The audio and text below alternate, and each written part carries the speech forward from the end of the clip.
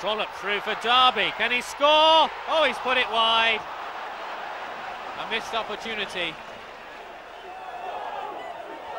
Carbone. Humphreys. Just loses out. Wednesday have the throw. McGrath. Oh, doesn't clear it well, and Wednesday have pounced. Wayne Collins has put Sheffield Wednesday into the lead. Paul McGrath failing to clear for the home side. He heads it there. The ball doesn't really rise properly for him, and Collins was in.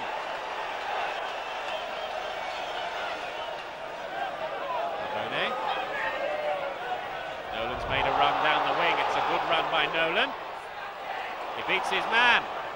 Humphreys! Oh, how did he miss that? The cross from Nolan, right across the face of goal, and somehow Humphreys just couldn't connect.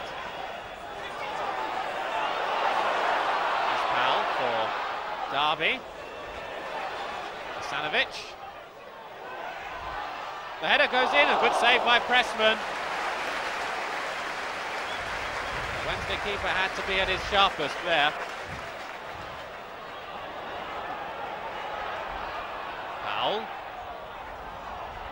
Danger here for Wednesday. Asanovic. Sturridge.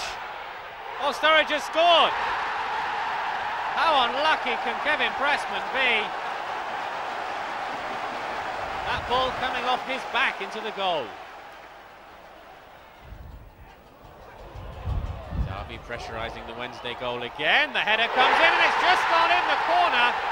Igor Stimac creeping the ball in past Pressman.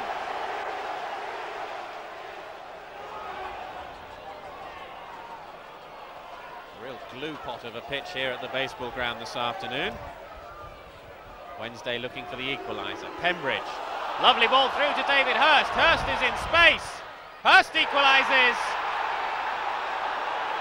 David Hirst makes it 2-2. Mark Pembridge with the ball through and Hirst kept his composure and kept alert. With only the keeper to beat, he made sure the ball found its rightful destination.